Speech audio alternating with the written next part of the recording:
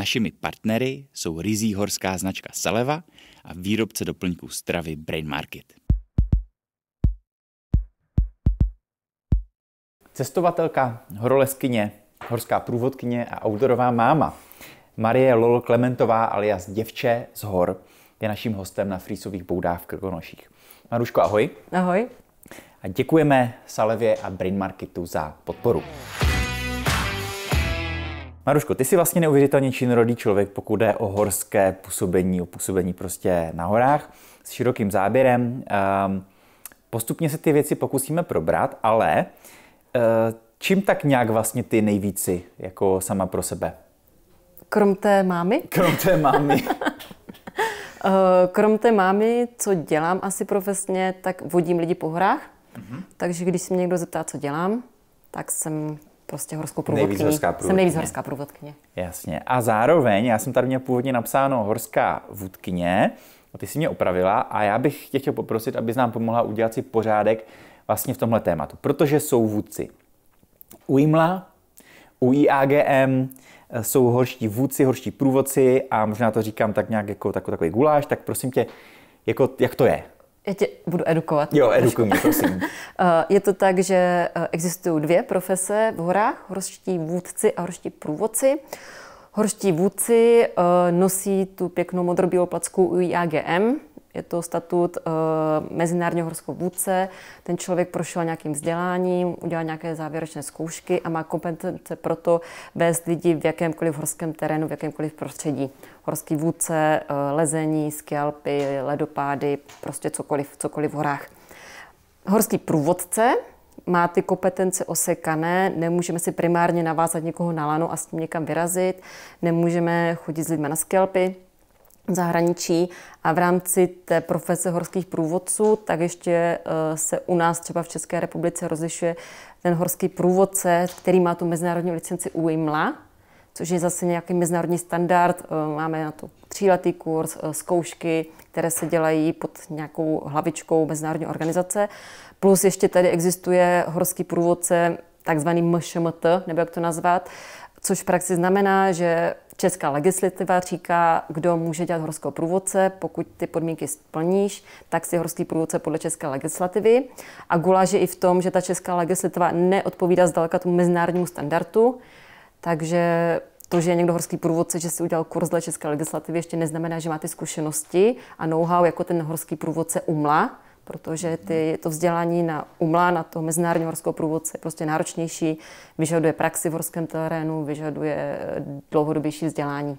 Jasně. Takže pokud někdo jako, řekněme, by měl teoretický zájem o to prostě nějakým způsobem lidi jako vést nebo průvodcovat, abychom teda asi úplně přesně rozlišili, tak ten první a nejjednodušší krok by bylo to MŠMT?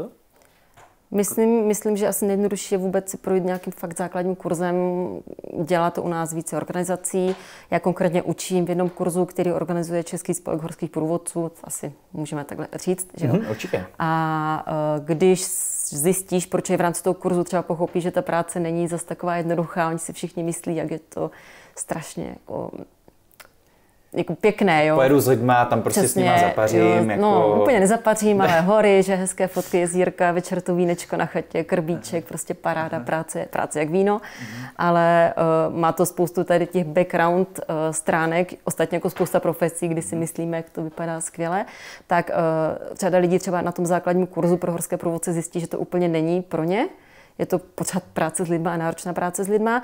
Naopak ti, kteří zjistí, jo, tohle by jako šlo, tohle by mě mohlo bavit, chci vědět víc, tak pokračují do té nástavby na toho mezinárodního horského průvodce, dodělají si více bloků, připraví se na ty náročné zkoušky a nechávají si potom prostě tu mezinárodní placku. Jasně. A pak někdo, kdo chce teda teoreticky jít jako ještě... E, nemusí to být úplně kompatibilní, pokud mhm. třeba um, hodně lezeš, pohybuješ se na skialpech, říkáš si, hele, chci aby mě tohoto živilo, chci vodit lidi v horském terénu, nemusíš žít tou cestou toho horského průvodce, ale můžeš rovnou se hlásit do kurzu na horského vůdce. Mm-hmm. Ve světě to bývá různé. U nás třeba ty, ty vzdělání nejsou navazující. Kdyby si to chtěl dělat v Německu, v Rakousku, tak tam to navazuje jinak. Tam ta posloupnost je jiná. V Rakousku, v Německu projdeš od průvodce k vůdcovi. U nás nemusíš projít tím průvodcovským vzděláváním. Uděláš přijímačku asociace horských vůdců, nastoupíš tam do vzdělání, vzděláváš se vlastně z druhé asociaci, Česká asociace horských vůdců a pak děláš zkoušky v Šamoní, kde zase prostě jasně, jasně. skončíš dobře. Jo, jo, jo. A teda z toho, co jsem jenom pochopil, tak to UI AGM, tak je, protože my jsme měli hosta Radka Grocha, který hmm. teď je už ten kurz má. Teď, teď ano, horský vůdce. Ano.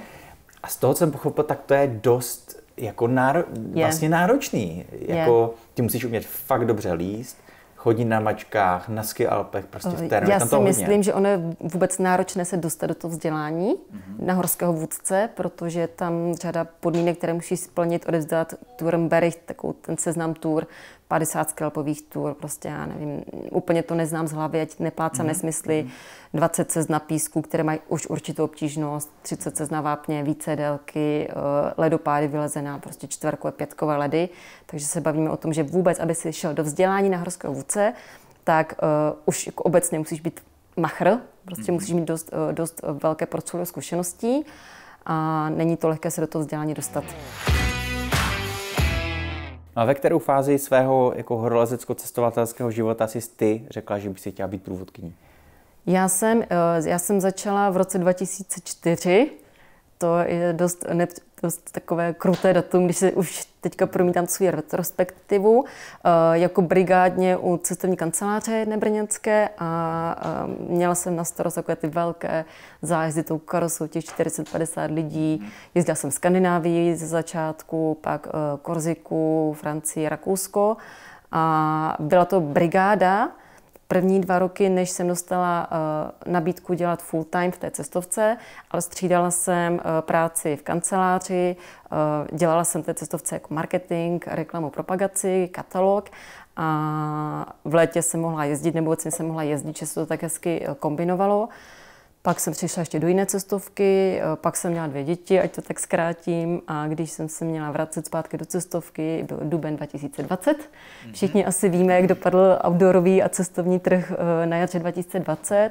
A mě to eh, vlastně dotlačilo nebo rozhoupalo k tomu tím, že mi končila rodičovská, je to to období na té rodičovské mateřské pro ženy, jestli mhm. tady můžu být, mít ten ženského pohledu, eh, hrozně dávat příležitost k tomu fakt se zamyslet nad tím, co chci dělat, protože mhm. je to najednou život předtím a potom, před dětmi a po dětech.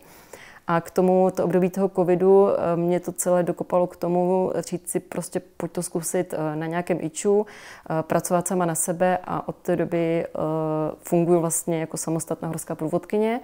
A myslím, že to bylo asi nejlepší rozhodnutí, co jsem v životě udělala. Že prostě v té době jsem si řekla, zkusím to, risknu to, klaplo to a je to fakt super. Je to prostě práce, která je mým koníčkem, která mě baví, na kterou jsem pišná. no ty máš jako, dobrý, no. totiž ve, ve svém výčtu na webu, na, na, na který dáme pod video uh, odkaz nebo do, do, do popisku, tak máš jako fakt šílené množství destinací, jo? Jako to tady nemá smysl vůbec jako číst, to se mrkněte sami, ale takže chápu, že to bylo dobré rozhodnutí, minimálně ve vztahu k cestování.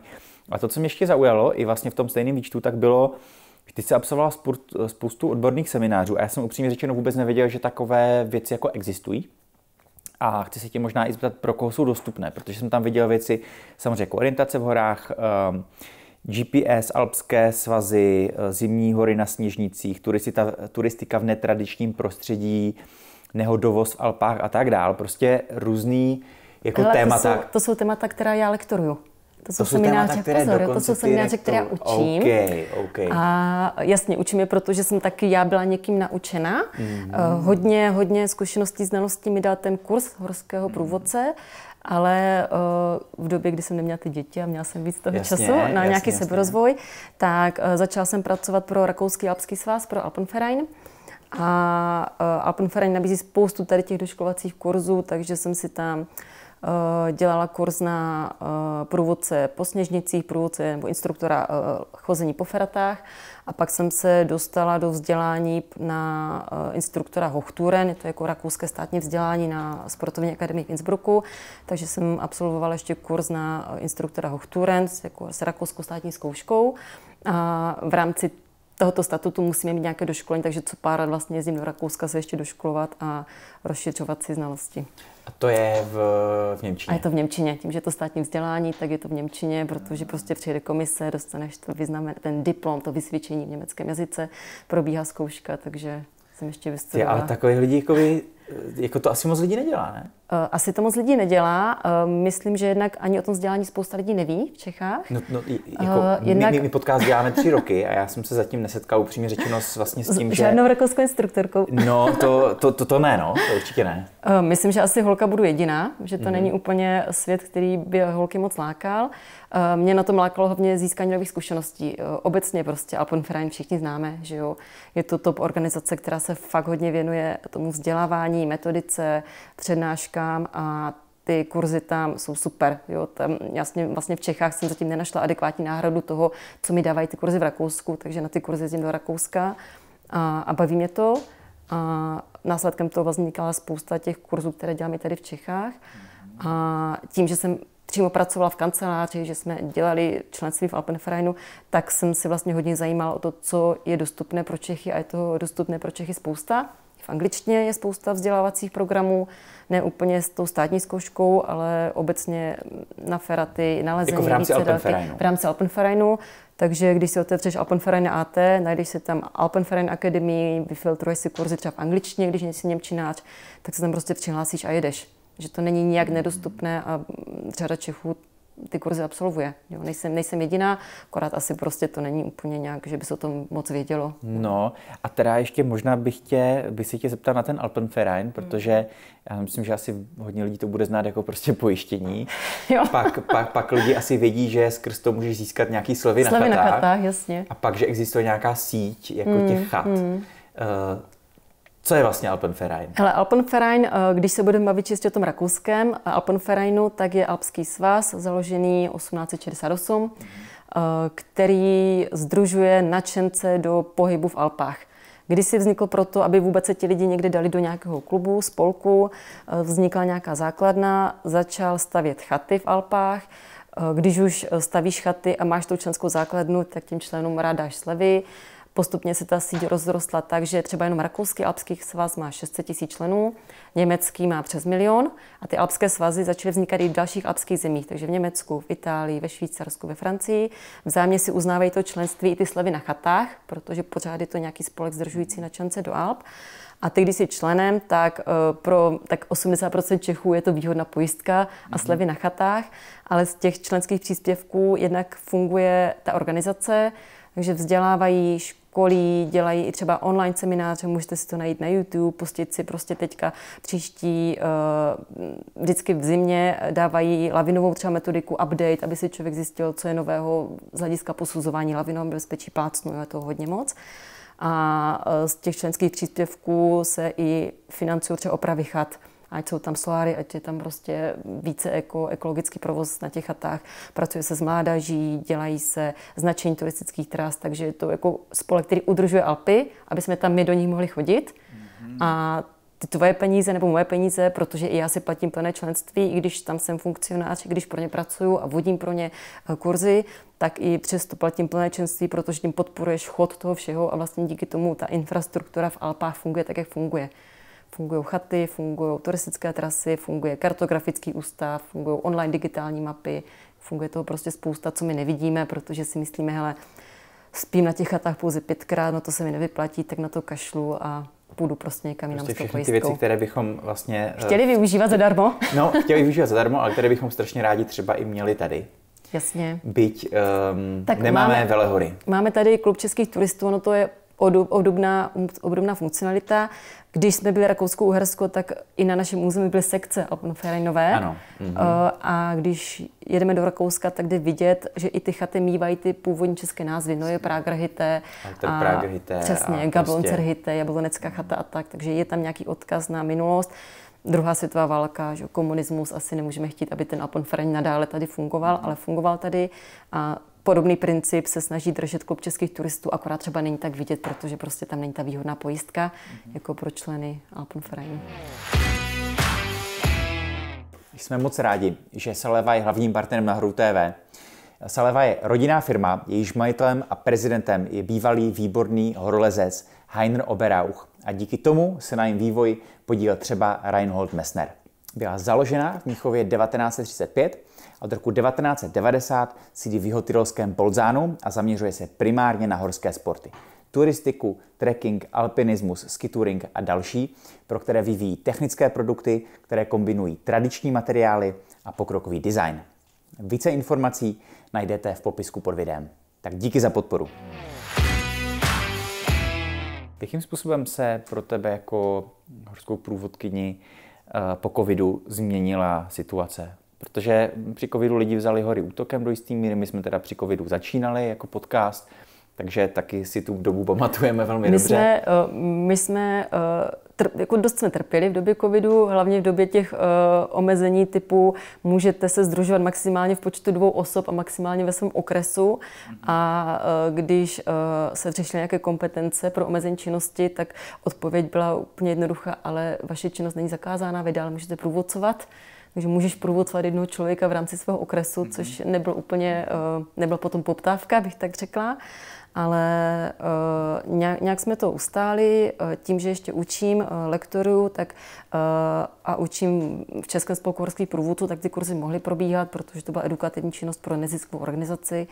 Takže tam se to dalo nějak ustát, nějaké úspory na to padly samozřejmě na přežití covidu, ale mě ten covid nakopl k tomu se fakt osamostatnit a začínala jsem zvolna um, po Čechách, jo, kurzy orientace, takovéhle věci a postupně se to nabalovalo a přece jenom ty hranice třeba v létě se uvolňovaly, to je taková moje hlavní pracovní sezóna je léto, takže se do Rakouska dalo jet, a pak se uvolnily i hranice mimo Evropu, takže už se mm, listopad 2021 už jsem byla v Nepálu se skupinkou a dalo se to postupně přežít, že to nebylo tak dlouhé, jak, jak, to, jak to vypadalo, že to bude. Jo, bavíme se od nějakém jaru 2020, 2020, kdy to začalo. A já jsem ještě únor 2020 se vrátila z Patagonie uh, pracovně a pak už uh, po roce a půl, co to začalo, už jsem byla v Nepálu. Takže to nebyla zase tak dlouhá doba, že by, že by, že by to bylo tak hrozné. Dalo se to s omezeníma, roušky, PCR testy, že jo, všichni jsme to zažili, ale dalo se fungovat. Mm-hmm. Pokud uh, se budeme bavit o tobě jako o prostě cestovatelce a jako člověku, který prostě vyhledává destinace nejen kvůli ostatním lidem a kvůli sobě sama, což teda si říkám, nakolik se to vůbec jakoby děje. No, ale neděje. máš, ne, neděje, jo. Neděje, ale... ale mm, jako, mm, dobře, máš nějaký jako oblíbený místo, kam se prostě vracíš uh, a z čeho, z čeho můžu vybírat? Evropa, svět, řekni světadíl no, a já ti řeknu oblíbené místo na daném světadílu. Eh, dobře, tak hele, eh, tak, tak řekněme si top 3 a jedno, který světadíl. Uh, mám ráda v Evropě, mám ráda Rakousko, já se tam cítím dobře. Uh, to je široký pojem, Rakousko. Uh, vracím se třeba ráda do Solné komory, tam prostě už znám každý kámen. Mě to dělá dobře, že to tam znám. A pak mi dělá dobře, když se přece jenom podívám o údolí vedle, o, o nějaké jezírko vedle. Mám ráda Dolomity, to je úplně srdcovka. Uh, mám ráda ten Nepál, to je taky velká srdcovka. Tam lítám taky dvakrát ročně už, už roky. Uh, mám ráda, mám ráda i skandinávské země, i když jsem tam dlouho nebyla, tak je to zase trošku jináčí. Proto mám třeba ráda i tu Patagonii, protože je to hodně podobné té Skandinávii. Ně, no. některé místa, která by si zatím řekla, že ještě nejsou příliš objevená, ale... Mnou, anebo obecně? uh, myslím teď obecně, to znamená... Turismem. Uh, no, mm. jako turismem, kam vlastně stojí za to jet a protože, no... Uh-huh. Uh, nevím, protože na takové místa nejezdím. Ty jsi to možná tady naznačil a já vlastně nejezdím nikam sama. Nebo nejezdím někam na dovolenou. Já vlastně pořád jsem někde v práci s nějakou skupinou mm-hmm. a uh, ráda bych si někde takhle zbalila ten baťuch a odjela mm-hmm. někam sama, ale já na to, než bych na to neměla čas a já vlastně ani nechci, dokud mám dvě, děti, dvě děti. Zmínil že jako mám ty děti, mm-hmm. já je prostě mám. A když už jsem doma, tak ten čas chci trávit s nima a bylo mi, připadá mi to vůči ním neféry prostě jako opustit a říct, ale tak sice jsem byla pryč pracovně a teď si chci ještě někam jako vyrazit, odjet sama. Takže Jasně. Eh, když už jsem doma, tak fakt se snažím být s těma dětma jo. a tady ty cesty eh, a tím pádem si radši ani nedělám seznam nějakých destinací, které bych chtěla objevit, ať mě to nemrzí, jo, že eh, ten čas na to ještě přijde určitě. Hele a nakolik, jakoby, když jsi se skupinou lidí, tak vlastně si lze to všechno jako užít tak, jako by si to teoreticky užila, kdybys byla sama. Vlastně jako, protože chápu, že to je seš v krásném místě, v krásné destinaci, kde seš asi ráda, hmm. příjemná kancelář, ale zároveň uh, možná jako po vlastní ose by to bylo přece jenom trošku jiný. Bylo by to úplně jiné. Mm-hmm. Uh, já musím, nechci klepat, ať tady někomu mm-hmm. neudělám nepluchosti mikrofonem. Uh, musím uh, říct na rovinu a jsem za to fakt ráda, že se mnou jezdí hrozně příjemní lidi. lidi. Mm-hmm. Tím, že si ti lidi vybírají mě, že se mnou chtějí někam jet, uh,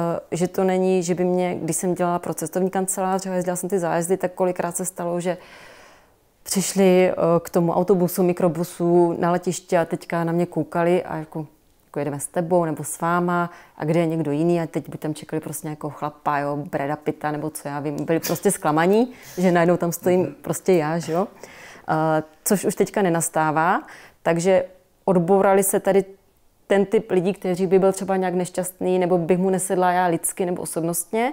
Díky tomu, že máme ty sociální sítě, um, přednáším a podobně, tak každý si řekne, hele, ta holka ta je mi fakt nesympatická, s tou nechci strávit dovolenou, anebo se řekne, ta holka, to vypadá, že s ní ta dovolená bude fajn. Mm-hmm. A právě proto, když já někam jedu, tak mám fakt příjemné skupiny lidí, které, když se neznají navzájem, tak se potom setkávají, píšou si a já jsem opokupená jako neuvěřitelně příjemnou aurou takhle v rámci mm-hmm. té práce takže mě to ani nevadí, že se třeba nepodívám někam, kde jsem nebyla, nebo že se jim věnuju pracovně, protože to fakt s nimi užívám. Se s nimi prostě zpřátelíš. Jo, jakoby, jo, jo, jo. A v podstatě se vždycky cítím jak s nějakou partou kamarádů nebo přátel na výletě. A tím, že nejsem zase svázána nějakým pevně daným programem, tak když prostě nám někdy dobře a řekneme si, hele, tak prostě pojďme to změnit, pojďme tady den zůstat, pojďme to dělat jinak. Já jsem třeba tady nebyla, připadá mi to zajímavé, pojďme to zkusit, tak kolikrát nastanou tady ty změny, mm-hmm. protože si to jinak můžu dovolit, já sama si to sobě obhájím a hlavně se takhle domluvíme jo. hromadně. Jo. Ale z hlediska těch destinací, co teď, jak tak nějak jako trenduje, co, jako kde je teď boom trenduje. Uh, z hlediska toho, kam si jezdí, protože jako byly období, kdy si vzpomínám, že víc a že hodně lidí mluvilo o Sri Lance, pak prostě um, Gruzie a tak, tak jako co teď, co, co teď je v kurzu? Ale já nevím. okay. já, já nevím, protože já jezdím pořád na to stejná místa, mm-hmm tak buď trendují stále ta stejná místa, mm-hmm. nebo tam jezdím, protože mi tam dobře.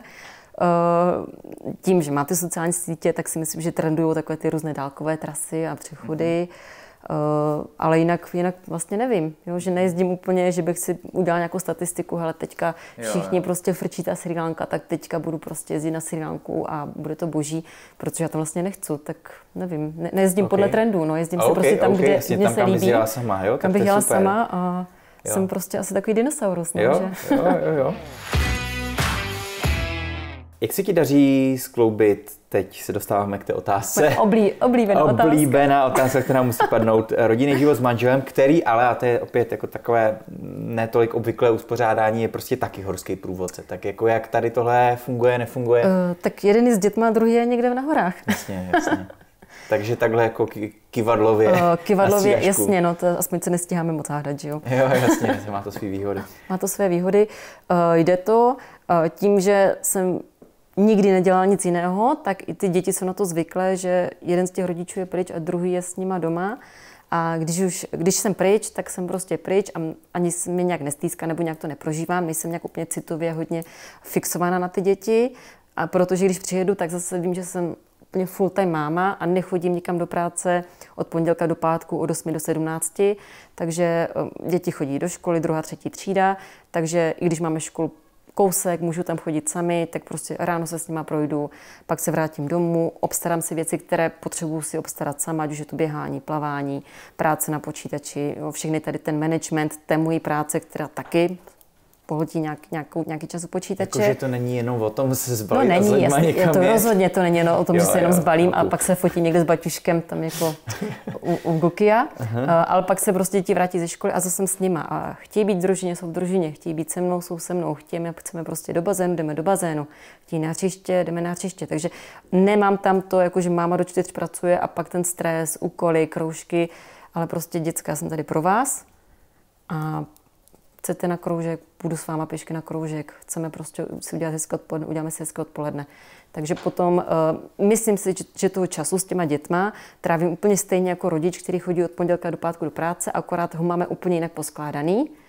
A uh, že to není moc vidět takhle. Jo? Že prostě kdo mě sleduje na sítích, tak samozřejmě vidí, jak furt někde trajdám a podobně, ale zase neuvědomuje, že um, i ty sítě jsou taková prostě jako klamavá síť a že jsem se třeba z Nepalu vrátila už ve čtvrtek a na těch sítích se tvářím se tam do neděle, protože jsem prostě ráda doma v tom klidu mm, a, a mám prostě takové jako pořád si ještě snažím chránit jo. trošku toho soukromí a být s těma dětma neúplně na očích. Mm-hmm. Hele, předtím, než jsi začala více se věnovat uh, cestování, průvodcování, tak uh, měla jsi nějaké jako ambice ve smyslu horolezecko, který vlivem toho všeho museli ustoupit, nebo prostě se ti daří v rámci teď i jako průvodcování si naplňovat nějaký třeba sny? Prostě. Já si prostě? myslím, že radši nemám ty ambice. Mm-hmm. Že já si užívám to, že se dostanu někam, kde jsem nebyla, uh, že si užívám to, že jsem se dostala třeba na místo, které už znám jako své boty a zase cítím dobře, protože to tam tak dobře znám. Samozřejmě mám nějaký vyšlist, kde se sem tam napíšu, co by mě zaujalo, ale, ale ne, já si to jako užívám tak, jak to je a moc se netrápím tím, že něco už úplně nestihnu, něco možná nestihnu, něco nastane, až děti vyrostou. Hmm. Co je to, co bys uh, ráda stihla? Uh, co bych ráda stihla? Stihla bych ještě ráda nějaké vyšší kopce, stihla jo? bych... Děkujeme, děkujeme. stihla bych se ráda podívat ještě do nějakých zemí, kde jsem nebyla. Stihla bych ráda si ještě projít třeba nějaké dálkové trasy, které mám na seznamu, které vlastně na to fakt ten čas není, mm-hmm. to si jako přiznávám na rovinu, ale když to nestihnu, tak se nic nestane. Nejsou Jasně. ty ambice takové, že bych se tím nějak trápila, jako, mm-hmm. že to mhm. už nedám. Mm-hmm. Víc prostě ještě ty, mám na to čas. Jasně, jasně, jasně, no tak rozhodně. A ty kopce, eh, který třeba?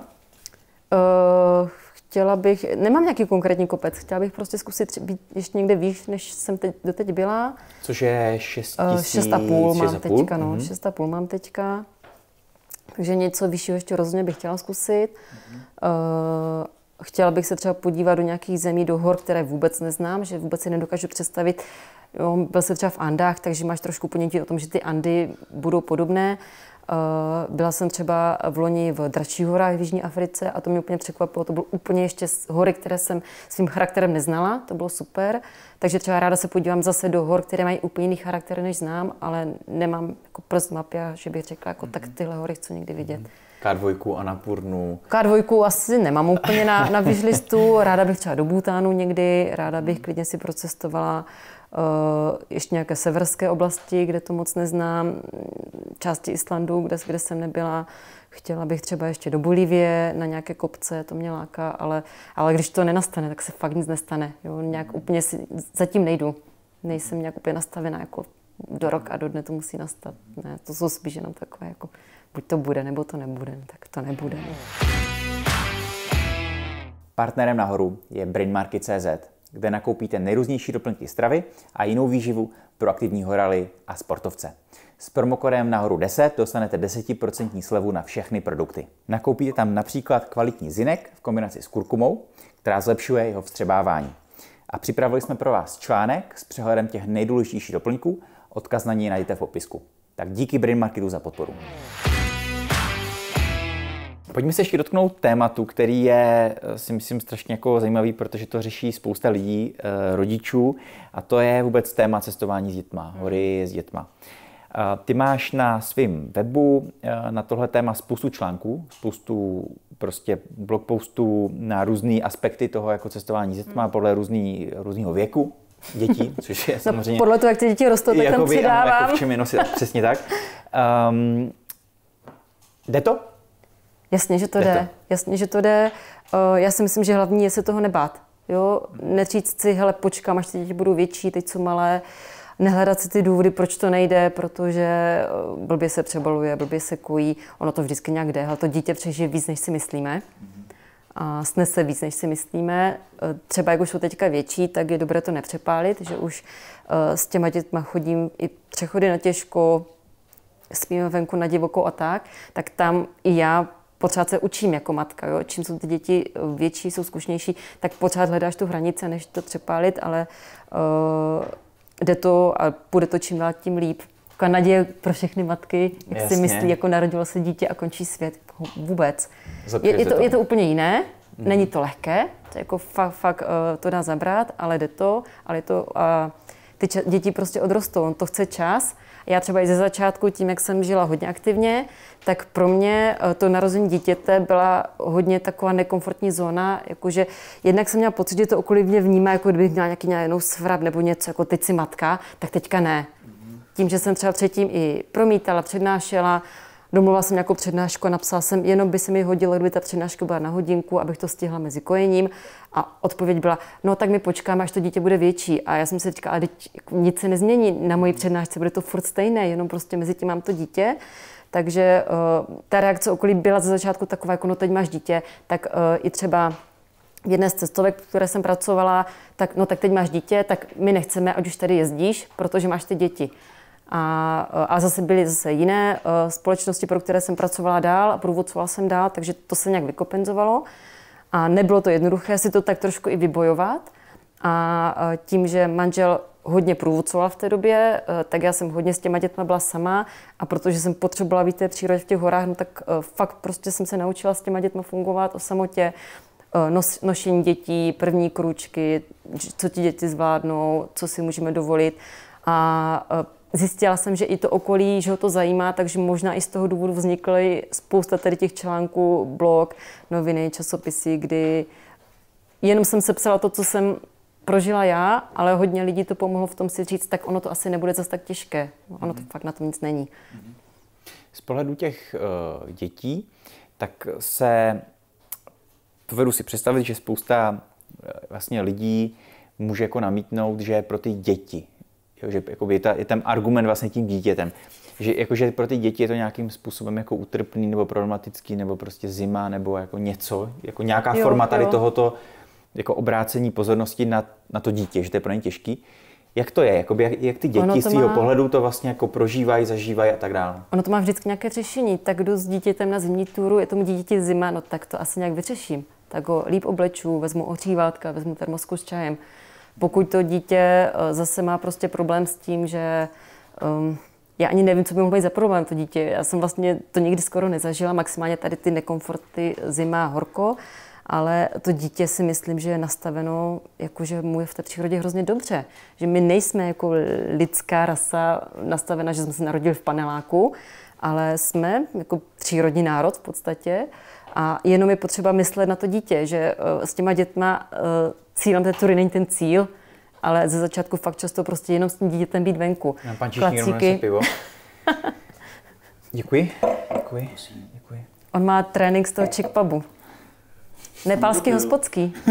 to nebudu dopít, můžete to odnést. Děkuji. Větrák. uh,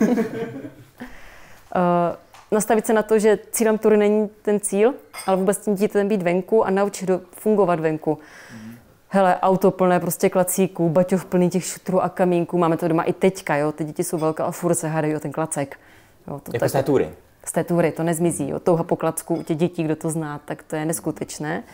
A tak znáte to, nemáte děti, tak víte klacek. Prostě. Tady je v tom kruhu spousta jako lidí, co ty děti top, mají. Takže, top hračka jo. outdoorová je klacík, bez toho neexistuje dětský outdoorový svět. Aha, super. A a třeba my jsme dospěli do fáze, že ty děti vlastně nic nepotřebují, že oni i venku, tím, že jsme jim někdy nepodsovali žádné hračky, eh, vyrostli v těch horách hodně. Hodně jsem třeba začala dělat i akce pro rodiče s dětma, takže já když jdu s dětma do Dolomit, já je pustím na dvě, tři hodinky přede mě a já prostě vím, že oni jsou sami v těch horách, vyznají se, pokud uh, vidí, že se blíží nějaká bouřka, tak se zastaví, stáhnou se z nějakého třeba hřebene, oblečou si pláštěnky, začnou se k nám vracet. Oni jsou jako neskutečně samostatní, protože se tohle to všechno naučili a umí si, mají takovou tu svobodnou hru, oni si umí hrát bez hraček. Oni si kdykoliv najdou něco, z čeho něco vyrobí, postaví, vymyslí si bojovku a fakt to jde s těma dětma. Jenom bych těm dětem obecně dal ten prostor pro to, aby si tohle to sami naučili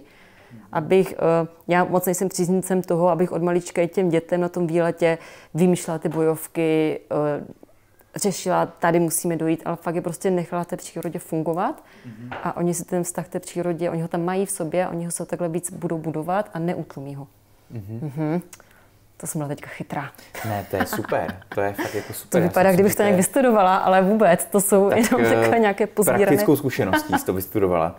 jo. No, jinými slovy, vlastně jde do cíly toho, aby byly zážitky, byl spokojený rodič a to dítě bylo taky spokojený. Já si ne, myslím, ne, že není hlavně, to na ničí úkor. Že hlavně rodič nesmí mít ty ambice. Rodič musí utlumit ty ambice, když jsou ty děti malé. Často se mi stalo ty akce, třeba ty dolmity s dětma, kdy jela celá rodina. Ta maminka s těma dětma, jak je pořád, tak je zvyklá, že ty děti nic neujdou, ten klacík a to všechno, kamínek.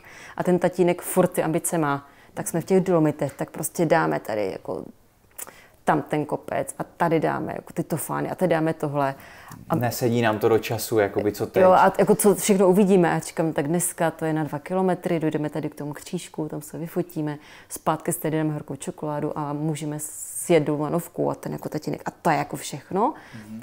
A ta maminka, jo, to je všechno. Jinak já třeba i ta maminka těch malých dětí chce, ty děti to fakt sami ujdou. Když jsou to skupiny více dětí, tak ty děti se motivují navzájem, ale ten tatínek má ten dojem, jako že ale když jsme těch dolomitech, tak tady nemám dneska ty kilometry, to, to nejde, takže uh, fakt důležité je utlumit ty ambice v sobě. Je to na pár let otázka, když jsou ty děti větší, už se s nimi dá zase to nějak prodloužit. A mně se třeba hrozně dobře osvědčilo fakt ten tahoun v podobě té dětské party. Chodit ve více skupinách, ve více rodinách, a ty děti budou hodně brzo samostatné, protože ty, oni se hodně učí tou nápodobou a když ty malé děti vidí, že ty větší mají, ten malý baťušek, to mají tu svačinku pití a ty tu svačinu si sní kdykoliv a ne když jim dá ten rodič. Takže samozřejmě ty sučenky zmizí hned po prvních pěti minutách, mm-hmm. protože tam ta maminka je nevidí, tak za tři dny další děti si taky už chtějí vzít ten baťušek a začne se to tak kumulovat. Mm-hmm. A takové to učení nápodobou. No. Co tě inspirovalo k tomu, že se začala věnovat vlastně i vzdělávání jako nejenom řekněme těch, těch jednotlivců nebo jejich průvodcování, ale vlastně i jejich výchově k tomu, jako být taky horskými průvodci? Eh, já jsem dostala nabídku z Českého spolku horských průvodců uh, učit uh, v době, kdy byla poptávka po lektorech, takže jsem začala učit orientaci navigaci. A pak, když jsem si udělala to rakouské vzdělání, ty kurzy, tak se mi rozšířil pod portfolio věcí, které učím, tím, že jsem je učila i v Rakousku, problematika pohybu po ledovci, eh, navigace a podobně, tak eh, jsem dostala nabídku učit vlastně tohle, to stejné, co učím v Rakousku, tak učit i eh, ve spolku horské průvodce. Tím, že na tom mám ty kompetence, zase když se bavíme o nějaké té legislativě, jestli to můžu nebo nemůžu dělat, tak právě s těmi rakouskými papíry tohle já zase dělat můžu. A Eh, je fajn, že my třeba jako ti rakouští instruktoři máme každoročně do školení, aspoň, že zase vidíme, co je nového, co už se nepoužívá, co by mělo být jinak, eh, podle nějakých kazuistik, co nastalo za úrazy, co se doporučuje vynechat, kde přidat a podobně. Takže mm-hmm. Asi to vzniklo následkem toho, že jsem se tak různě snažila vzdělávat sama sebe, tak přišla ta poptávka, ať tím stejným vzdělávám i ostatní. Mm-hmm. Co tak lidi jako nejvíce zajímá, baví? Jako je něco, co je takový univerzální Na těch téma horách? častý? Mm-hmm. Nebo když učím? Teď jsem myslel, když učíš, ale klidně i obe, obecně jako na horách. Já myslím, že když učím, tak všechny nejvíc baví ty historky z toho zákulisí. Jo, to, co oni nemají zažito, tak uh, takové to know-how té práce s lidma. Uh, jak tady zaznělo, všichni si myslí, jako ty horská průvodkyně, skvělá práce, kafíčka, ty Himálaje za zády, vlastně pohodička, ale eh, to je nějakých 20% té mojí práce a 80% taková ta psychologie a, a fakt práce s těma lidma, která se i hodně těžko učí a přináší a vůbec jako práce s tou skupinou, kterou i ti lidi, co jsou se mnou, tak často nevidí, že všichni si myslí, tak s, ním, s náma jde už pět dní na výlet, ale nesledují, co já všechno v rámci té skupiny řeším, mm-hmm kombinuju, přemýšlím, dávám ty lidi dohromady nebo pak je separuju, snažím se pracovat s dynamikou té skupiny, mm-hmm. tak uh, to nejde vidět. A zamluvila jsem tu otázku. No, co jsem prostě je obecně jako téma, které lidi zajímá, baví? Takže, takže, jo, takže, takže na tom vzdělávání zaj, zajímají ty zákulisní informace. Jo, co se stalo, uh, hodně řešení krizových situací. Co všechno jsem zažila za krizové situace, jak jsem to vyřešila. Co jsi zažila za krizové situace? Já jsem věděla, že si naběhnu. Eh, co by se mohlo stát? Hele, různě. Jo. Zase, když jsem jezdila autobusové zájezdy, tak byly krize v rámci autobusových zájezdů, různé prostě otravy kuchařkou a někde nám třeba nepustili autobus do Maroka, jo, nebo nás prostě vyplavil nějaký kemp, uh, spousta zdravotních komplikací a podobně. Jde vidět, že to máš už jako vlastně na. Jo, jo, ztráty dokladů, ztráty peněz, ztráty lidských jedinců v rámci skupiny a tak dále. Mm-hmm. Takže jo, je to hodně, tak potom prostě podle situace, kde se nacházíme, tak dávám historky. Teďka zase musíš vidět, co ty lidi vyděsí, co je ještě pobaví a tak dále. Jasně, jasně, aby, aby, aby se nechtěli vracet domů. Co ti hory dávají a dali? No, to je otázka teda. Uh, dali mi práci, no. mm-hmm.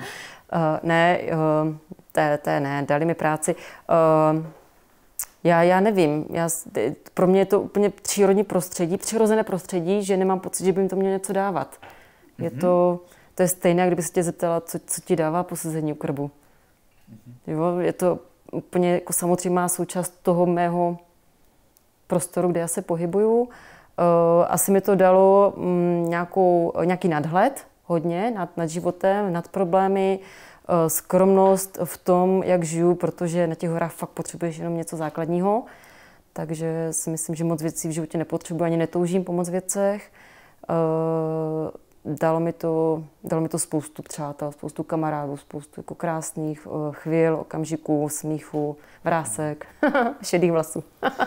Tvoje první reakce byla podobná tomu, co vlastně, když jsem se ptal Dana Polmana, cyklisty, mm-hmm. ultracyklisty, na to, na otázku podobného typu, tak říkal, že, jako, že si myslí právě, že je fajn dělat věci, který, u kterých se člověk nemusí ptát proč. Mm. Že jsou tak nějak jakoby zřejmý, nebo samozřejmý, nebo prostě jsou, uh, tak tohle mi to vlastně trošku připomnělo. Jo. Hele, díky moc za rozhovor, až si ti nadál daří. Tak díky za pozvání.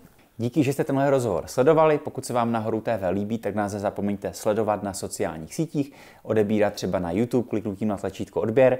A taky děkujeme partnerům dnešního natáčení, kterými byli Saleva, Brainmarky, díky za to, že jsme mohli natáčet na frýsových boudách tady v Krkonoších a Trávo, díky za pivo a za přiložení do krbu. Mějte se, ahoj.